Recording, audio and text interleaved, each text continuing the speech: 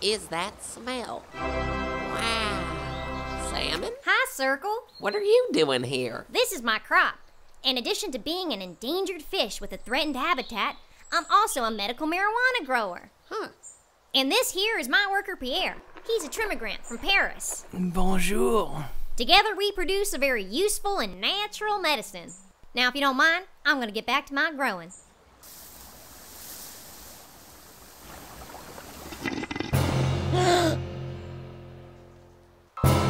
The more the better, like wine.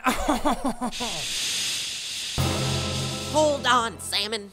I know that marijuana is a natural form of medicine, but there's nothing natural about the way you're growing this crop. What do you mean? First, that fertilizer isn't organic, and you're using way more than your plants can even absorb. The excess fertilizer washes into the river and causes disgusting algae blooms. Now, that rat poison doesn't just kill rats, but other animals that are important for the ecosystem. And your unregulated diversion is stealing much needed water from the river itself. Do you even have water rights here? Oh, Mother Earth, what have I done? Pierre, we must destroy this devil weed. Easy there, Salmon.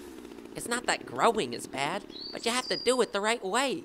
Use organic fertilizers, but not too much. Fence your crop instead of using poison, and use a cistern to collect winter rain instead of pumping it out of the creek in the dry season. and also, never get high on your own supply. No? Um, that's more of a personal choice.